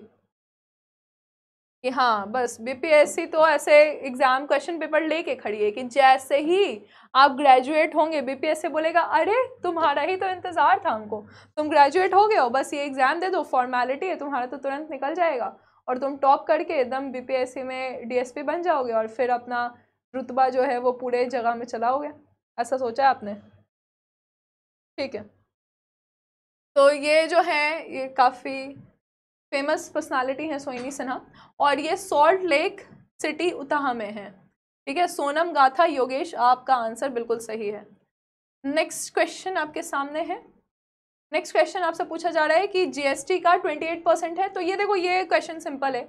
एक अक्टूबर से शुरू होगा, इसको हम पहले ही बता देते हैं। फिर आईटीआर कितना फ़ाइल हुआ है? 6.77 करोड़ आईटीआर फ़ाइल हुआ है। पिछले साल 5.83 करोड़ आईटीआर था। ठीक है इनकम टैक्स रिटर्न नेक्स्ट हम देखेंगे कि इस बार जो माइन और मिनरल बिल आया है, वो इसीलिए है ताकि प्राइवेट सेक्टर को भी भागीदारी दी जा सके। अब हम खनन में जो है, भागीदारी इनको भी बढ़ाने वाले हैं। चलिए, इस क्वेश्चन का आंसर दीजिए। आपका कमेंट सेक्शन आपका पोल ऑन हो चुका है। ठीक है।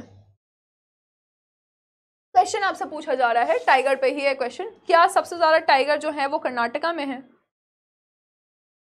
क्वेश्चन क्या पूछा जा रहा है? क्या सबसे ज़्यादा टाइगर कर्नाटका में है? फ़र्स्ट स्टेटमेंट दूसरा स्टेटमेंट है कि सेंट्रल इंडिया शिवालिक और गैंगेटिक प्लेन में टाइगर का पॉपुलेशन बढ़ चुका है। तो यहाँ पे आप जानते हैं कि सबसे ज़्यादा टाइगर जो है, वो कर्नाटका में नहीं है, उत्तराखंड में है।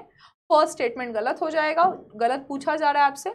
और यहाँ पे आप लोग थोड़ा सा गड़बड़ कर दिए हैं। गाथा और रजत का आंसर सही है। अच्छा आप लोग प्रीवियस क्वेश्चन का आंसर दे रहे हैं, इसीलिए गड़बड़ हुआ है। कोई बात नहीं। चलेगा। जीएसटी काउंसिल पे क्वेश्चन है। अब तुम लोग जो प्रीवियस क्वेश्चन दे रहे हो, वो देना बंद करो। अब हम पोल स्टार्ट कर रहे हैं, ठीक है? पोल के अकॉर्डिंग इस क्वेश्चन का आंसर दो। जीएसटी काउंसिल पे क्वेश्चन है। पहला पूछा जा रहा है, क्या आर्टिकल 279 ए वन के तहत प्रेसिडेंट इसको सेटअप करते हैं? दूसरा है finance minister minister of state and finance और जितने भी स्टेट के फाइनेंस मिनिस्टर होते हैं, वो यहाँ पे पार्टिसिपेट करते हैं। ठीक है? तो ये तीन स्टेटमेंट आपके सामने है। पोल हम स्टार्ट कर दिए हैं। इसका आंसर आप बताइएगा करेक्ट पूछा गया है। कौन सा स्टेटमेंट करेक्ट है? कौन सा स्टेटमेंट सही है? और प्लीज़ हंड्रेड जितने भी बच्चे आप देख रहे हैं, आप सारे लोग इस क्वेश्चन का आंसर देने का कोशिश कीजिए। सही होगा या गलत होगा, आंसर देने का कोशिश कीजिए पहले। ठीक है? तो आर्टिकल नंबर 279 ए के वन ए के वन में आपसे पूछा जा रहा है कि क्या प्रेसिडेंट इसको सेटअप करते हैं? और नेक्स्ट है finance meet finance minister chairperson और यूनियन मिनिस्टर ऑफ़ फिनेंस ठीक है? ये सेंटर्स के होते हैं और हर स्टेट के जो मिनिस्टर इंचार्ज होते हैं, ठीक है, वो इसमें पार्टिसिपेट करते हैं। तो यहाँ पे आप देखिएगा, तीनों ही स्टेटमेंट आपका करेक्ट है। यहाँ पे ऑल थ्री हो जाएगा। समरीन, राज, रागनी, करण, आप सभी का आंसर बिल्कुल टॉप पे आया है। नेक्स्ट क्वेश्चन जीएसटी काउंसिल पे हो गया। फिफ्टी फ़र्स्ट जीएसटी काउंसिल इसको याद रखिएगा please time of the day time of the day tariff system option ठीक है time of the day tariff system क्यों शुरू हुआ है? क्या कहा जा रहा है कि दिन के समय में 10 से 20 परसेंट कम टैरिफ लगेगा, रात के समय में 10 से 20 परसेंट ज़्यादा टैरिफ लगेगा? किस चीज़ की यहाँ पे बात हो रही है? क्या यहाँ पे वैश्विक व्यापार की बात हो रही है? बिजली की खपत की बात हो रही है? पर्यावरण प्रभाव, आकलन की बात हो रही है या नन ऑफ़ द अवव की बात हो रही है? तो यहाँ पे आप जानते हैं सभी लोग कि आंसर क्या हो जाएगा इसका? इलेक्ट्रिसिटी कंजम्पशन ठीक है? तो इसकी टैरिफ्स को चेंज करने की बात हो रही है और ये अगले साल से चेंज होने वाला है। मुस्कान वसीम, करण, आपका आंसर टॉप पे है और नीचे से अड़ी, अरसी, सुनील शिप्रा, आपका भी आंसर टॉप पे। वेरी गुड नेक्स्ट क्वेश्चन हम देखेंगे। इसको बताइए, ठीक है, यहाँ पे पोल स्टार्ट हो गया है। ये स्कीम से रिलेटेड क्वेश्चन है। स्कीम में आपसे सौभाग्य स्कीम जहाँ पे मैंने आपको सहज, बिजली, हर घर बताया हुआ है। प्रधानमंत्री स्वनिधि स्ट्रीट वेंडर ठीक है? और नई रोशनी नई रोशनी स्कीम के बारे में आपसे पूछा जा रहा है, कौन सा आपका मैच ऑफ़ द मैच सही है? यानी कि स्कीम और मंत्रालय दोनों यहाँ पे लिखे हुए हैं। क्या सौभाग्य मिनिस्ट्री ऑफ़ पावर के अंदर आता है? क्या स्वनिधि जो है वो ministry of social justice and empowerment के अंदर आता है? क्या नई रोशनी जो है वो वुमेन एंड चाइल्ड डेवलपमेंट के अंदर आता है? नई रोशनी जो है ये मिनॉरिटी अफेयर्स का है है ना? तो यहाँ पे आपको पता है कि आंसर क्या हो जाएगा? सिर्फ़ पहला वाला सही है। क्योंकि स्वनिधि जो है ये किसके अंदर आ जाएगा? ये ministry of housing and urban affairs जहाँ पे हम स्ट्रीट वेंडर्स को लोन देने वाले हैं। और नई रोशनी देखिएगा माइनॉरिटी वुमेन के लिए है ठीक है? यहाँ पे आप देख सकते हैं। तो आंसर क्या हो जाएगा? ए हो जाएगा सिर्फ़ पहला सही है। यहाँ पे भी तुम लोग गड़बड़ कर दियो। शुभू चौधरी का आंसर सबसे पहले आया है। मुस्कान है और तनु सिंह रा, राजपूत हैं।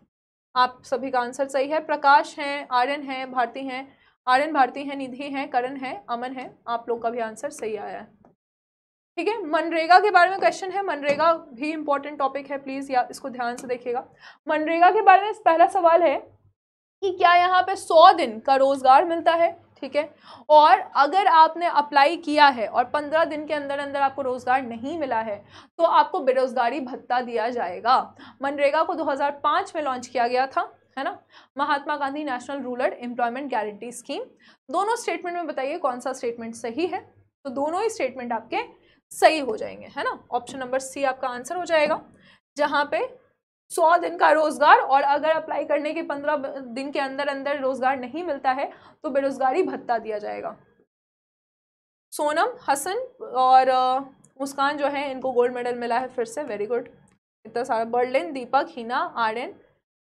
आपका नाम है दाओलू अमन रजत, आप सभी का आंसर सही है वेरी गुड ठीक है, मनरेगा का आपको पता चल गया। जीएसटी काउंसिल का भी एक टॉपिक था ना, यहाँ पे। ठीक है? मनरेगा हो गया। अच्छा टॉपिक जीएसटी काउंसिल है यहाँ पे एक क्वेश्चन है, ठीक है? ये आपका सेंसस से रिलेटेड क्वेश्चन है। ध्यान से आंसर दीजिएगा सेंसस से रिलेटेड क्वेश्चन का। मुझे लगता है अब लास्ट ही है। अभी है कुछ और क्वेश्चन ठीक है? तो सेंसस से रिलेटेड जो क्वेश्चन है, ये आपसे पूछा जा रहा है, क्या ये आर्टिकल 246 में है? क्या ये कौन करेंट सब्जेक्ट है? और दूसरा पूछा जा रहा है कि कास्ट सेंसस 1931 में करवाया था हमने आखिरी लास्ट तो देखिए अब इसमें कोई बच्चा गलती करेगा उसको वो पिटाएगा। हम्म। तो सही आंसर जो है, देखिए कॉन्करेंट लिस्ट में बिल्कुल नहीं है यूनियन लिस्ट में हम बहुत बार बता चुके हैं। और लास्ट सेंसस जो है, वो 1931 का था। ठीक है तो कॉन्करेंट लिस्ट में नहीं है यूनियन लिस्ट में है लास्ट सेंसस 1931 का था। अभी भी देखो, तुम लोग दोनों कौन बोल रहे हैं? थर्टी स्टूडेंट गलती बता रहे हैं। हसन देवांशु सोनम, वसीम, योगेश। देखो, देखने में लगेगा तुमको ना कि टफ है मैम ये नहीं पता था। तुम एक, हम तुमको फिर से कह रहे हैं, अभी भी जिसको थोड़ा भी कॉन्फिडेंस की कमी है प्लीज़ आप मंडे से लेके फ्राइडे तक रोज़ सुबह आठ बजे ये करंट अफेयर्स की क्लास कीजिए। आपके लिए बहुत बहुत इंपॉर्टेंट है और ज़रूरी है। आप अगर अभी एसएससी या group railway group D exam के बारे में भी सोच रहे हैं ना तो उसमें भी स्टेटमेंट बेस्ड क्वेश्चन हैं। इस बात को पहले सुन लो ध्यान से। एसएससी का एग्ज़ाम अभी कंडक्ट करवाया गया है। उसमें भी स्टेटमेंट बेस्ड क्वेश्चन हैं। तो तुम बीपीएससी के एग्ज़ाम में तो और स्टेटमेंट बेस्ड आएँगे। यूपीएससी में अलग ही लेवल आएगा। तो तुम रेडी रहोगे ना? कंपटीशन किस टाइप का चला है? वो वन लाइनर रटम और टिकम वाला सिस्टम चला गया है गाइज़ इसमें प्लीज़ आप रेगुलर रहिए और सैटरडे को रिविजन कीजिए, ठीक है? संडे को खुद से पढ़िए और टेस्ट दीजिए। पारा हाई कर दोगे तुम लोग मेरा। रोहिणी कमीशन ऑलरेडी हो चुका है सब कैटेगराइजेशन पे है। पैसा एक्ट के बारे में सवाल है ये आप बताइए। देखिए पंचायत के बारे में आप सभी को पूरा कथन पता है। सेवेंटी थर्ड कॉन्स्टिट्यूशनल अमेंडमेंट 1992 से शुरू हुआ 1993 में लागू हुआ है। आ, पहले भी नेशनल एक्सटेंशन सर्विस था हमारे पास 1950 1900 एंड किस साल बताइए तो नागौर राजस्थान में पहला पंचायत हुआ था सेकेंड अक्टूबर इसमें भी बच्चे कंफ्यूज करते हैं साल में। विच ईयर हम्म पैसा उस जगह के लिए है जिसको हम जहाँ पे एग्जैक्टली exactly वो मॉड्यूलेशन नहीं ला सकते हैं। पंचायत का उसमें हमको कुछ मॉडिफिकेशन करना पड़ेगा, कुछ चेंज करना पड़ेगा, ठीक है? तो पंचायत का जो प्रोविज़न है वो नाइन में है ये, ठीक है? और हम डेमोक्रेसी को फोस्टर करने के लिए पैसा की बात करते हैं, दोनों ही स्टेटमेंट सही है। ट्वेंटी फाइव परसेंट बचे मुस्कान प्रियांशु टोटल गेमिंग गाथा, रजत, देवांशु, निधि, समरीन, आपका आंसर सही है। दोनों स्टेटमेंट सही है, ठीक है? यस आर्टिकल 370 सभी को पता है, जम्मू एंड कश्मीर के लिए है है ना? और ये हो गया आज का आपका लास्ट क्वेश्चन यहाँ पे हम सबका नाम देखेंगे, जिन्होंने सही बताया है पोल स्टार्ट हो चुका है। आदि पेरुकू, ये फेस्टिवल होता है केरला, कर्नाटका, तेलंगाना और तमिलनाडु में। तो आदि पेरुकू, ये फेस्टिवल कहाँ पे होता है, ये आपको बताना है। केरला, कर्नाटका, तेलंगाना या तमिलनाडु पढ़ाया हुआ है। फेस्टिवल्स पूछे जाते हैं examination this is the last question for today अभी भी ए और डी में तुमको कंफ्यूजन है। केरला और तमिलनाडु का कंफ्यूजन तुम लोग मत कंप्लीट करना है इस एग्ज़ाम के पहले। तमिलनाडु का है, अठारहवा दिन है, आदि महीना है और तमिल मंथ का महीना है। ठीक है? तो ऑप्शन नंबर डी हो जाएगा। वेरी गुड सिर्फ़ सोनम, निधि, सौरभ और करण का आंसर सही है। ज़्यादातर बच्चों ने केरला कहा है। एक्सेलेंट वेरी गुड गाइज़ देखो, आज आज पहला सैटरडे है, ये फ़र्स्ट वीकेंड है अगस्त का, है ना? तो पहले वीकेंड को बहुत स्ट्रैटेजिक तरीके से आपको यूज़ करना है। वीकेंड्स आर वेरी इंपॉर्टेंट आपकी क्लासेस कम होती हैं। चाहे आप बैचेस में इनरोल्ड हो या यूट्यूब पे रेगुलर क्लासेस जो होती है तो आज सैटरडे हो गया, है ना? तो आपने क्या करना है प्लीज़ आप थोड़ा सा स्ट्रैटेजिक तरीके से वीकेंड को यूज़ कीजिएगा। आपको जो भी टॉप जैसे कि हिस्ट्री है साइंस है, बिहार स्पेशल है। सबसे ज़्यादा क्वेश्चन इससे आते हैं। आप क्या करें कि आप तीनों का एक एक टेस्ट लगाएँ और टेस्ट को एनालाइज करें, ठीक है? और टेस्ट को एनालाइज करने के बाद आपको पता चल जाएगा कि कहाँ से कौन कौन से टॉपिक्स आपके इंपॉर्टेंट हैं, ठीक है? तो आप ये काम करिए, इस सैटरडे और संडे यही इंपॉर्टेंट है। अब हम आपको आंसर राइटिंग नहीं दे रहे हैं, लेकिन आपको ये काम करना पड़ेगा। अगर आपको अभी भी नहीं पता है, देखो पॉलिटी अगर कोई बच्चा पढ़ रहा है तो पॉलिटी के टॉपिक्स हम बता देते हैं।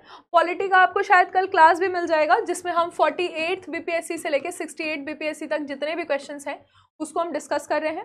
सुबह दस बजे की क्लास होगी, हम आपको शेयर कर देंगे लिंक ठीक है? यहाँ पे आपको parliament president, fundamental right preamble है ना? और पंचायत।